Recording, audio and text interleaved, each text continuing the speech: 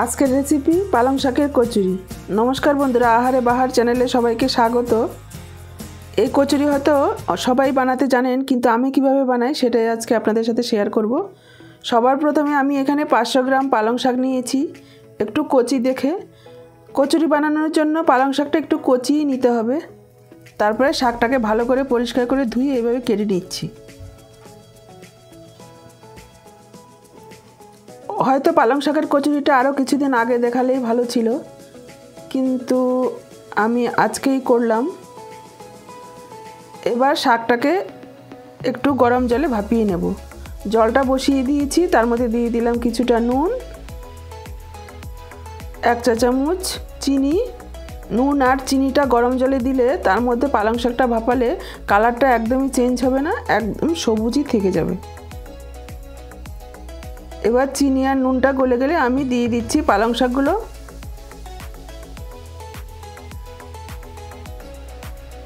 এবার উল্টে পাল্টে দু মিনিট মতন একটু ভাপিয়ে নেব।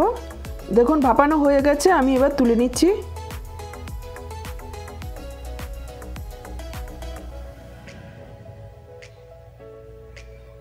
শীতের দিনে এই পালং শাকের কচুরি খেতে ভীষণই ভালো লাগে। আর সাথে যদি হয় আলুর দম, ডিমের কষা। তাহলে তো কথাই নেই। এবার আমি এটাকে পেস্ট করে নেব। একদমই মিহি পেস্ট তৈরি করে নিচ্ছি। আর দিয়ে দিচ্ছি এক ইঞ্চি আদা টুকরো করে। একটা বড় সাইজের পেঁয়াজ টুকরো করে দিলাম।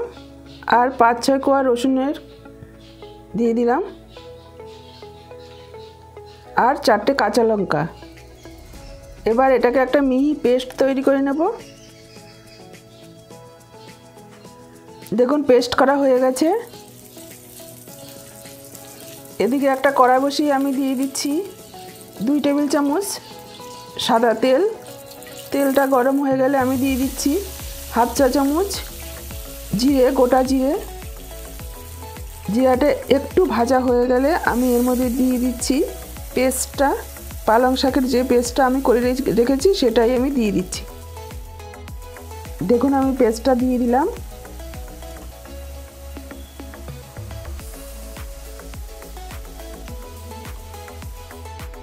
এবার আমি গ্যাসের ফ্লেমটাকে মিডিয়াম টু লোতে রেখে চার থেকে পাঁচ মিনিট ধরে একটু রান্না করে নেব। দিয়ে দিচ্ছি আমি স্বাদ অনুযায়ী নুন, একটু হলুদ গুঁড়ো,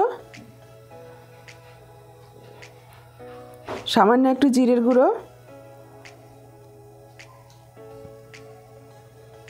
একটু ধনে গুঁড়ো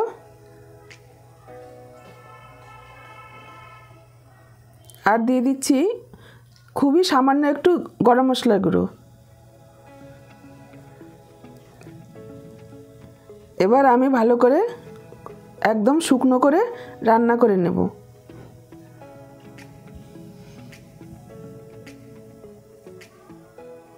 দেখুন, জলটা একদমই শুকিয়ে গেছে আর কড়ার থেকেও আলগা হয়ে গেছে। এবার আমি নামিয়ে নিচ্ছি। নামিয়ে নিয়ে আমি ঠান্ডা হতে দেবো।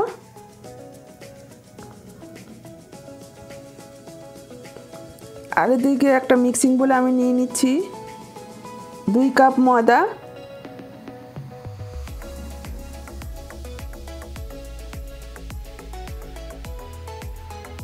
সামান্য একটু নুন।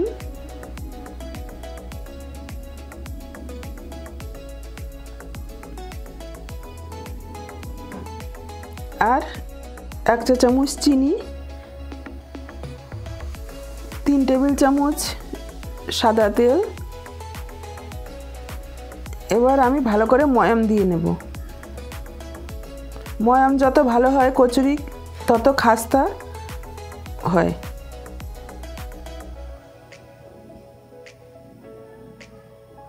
ময়াম দেওয়া হয়ে গেছে। দেখুন আটাগুলো দলা দলা হয়ে গেছে। তখন আমি অল্প অল্প করে জল দিয়ে মেখে নিয়েছি। এবার আমি হাতে একটু সামান্য তেল দিয়ে ভালো করে ডলে নিচ্ছি, যাতে উপরের দিকটা সফট থাকে। এবার আমি পনেরো মিনিট রেখে দেওয়ার পর আর একটু ডলে নিয়েছি, হাত দিয়ে। এবার আমি ছোট ছোট করে লেচি করে নেব। রুটির থেকে একটু ছোট, লুচির থেকে একটু বড় বড় করে লেচি কেটে নিচ্ছি।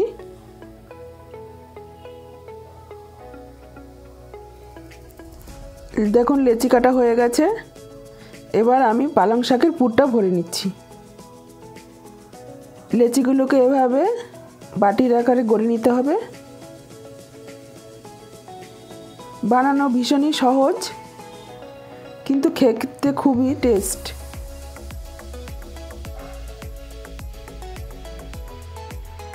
এভাবে মুখটাকে বন্ধ করে দেব।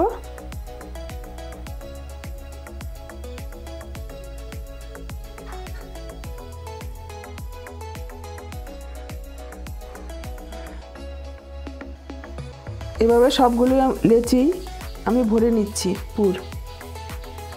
সবগুলো ভরা হয়ে গেছে। এবার দেখুন, আমি এভাবে আলতো হাতে বেলে নেব।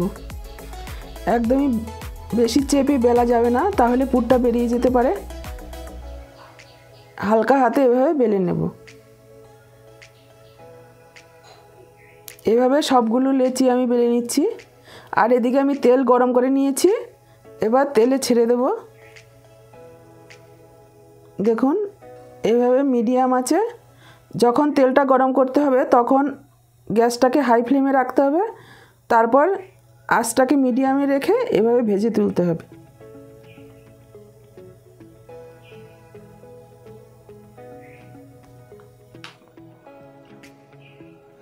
দেখুন কি সুন্দর ফুলে গেছে। সবগুলো কচুরি আমি এইভাবে তৈরি করে নেব। তারপর গরম গরম সার্ভ করে দেব। ডবল কুসুম ডিমের সাথে। তাহলে বাড়িতে অবশ্যই একবার ট্রাই করে দেখবেন। আমি যেভাবে বানিয়েছি ঠিক সেভাবে। আশা করি আপনাদের ভালো লাগবে। যদি ভালো লাগে লাইক শেয়ার কমেন্ট সাবস্ক্রাইব করার অনুরোধ রইল। বেল বাটনটা অবশ্যই প্রেস করে দেবেন, তাহলে আমার দেওয়া সমস্ত রেসিপির আপডেট সবার আগে আপনাদের কাছে পৌঁছে যাবে। দেখুন, কী সুন্দর ভেতরে কালারটা একদমই সবুজ রয়েছে।